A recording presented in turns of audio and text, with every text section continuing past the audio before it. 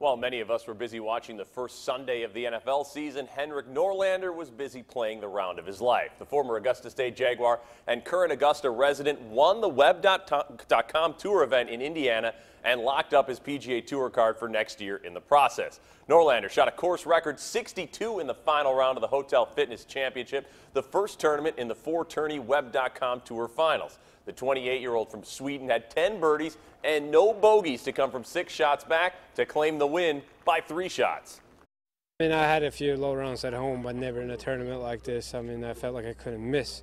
I had nine putts on the front, and I hit it to like 25 feet on 10, and I didn't make it. I was shocked.